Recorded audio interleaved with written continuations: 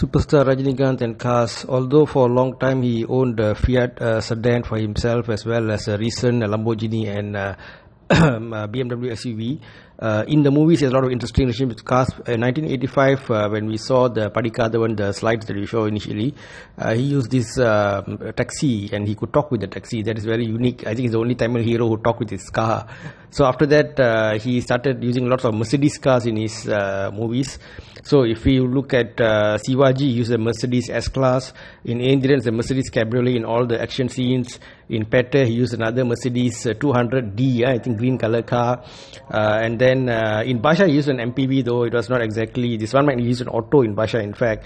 Uh, and then in the movie T 1980s he used a uh, Mercedes. And here in uh, Kabali he's using a Mercedes again. And then in Kala by Pa Ranjit used a Mahindra uh, Jeep instead to show his uh, redneck roots there in, in that particular movie. So um, he he has a kind of a love affair with Mercedes in his films uh, we see, but uh, in real life it seems uh, he's more into BMW SUVs now uh, together with the Lamborghini SUV. Okay, guys, thank you. Take care. Anything I missed, do share. Bye bye.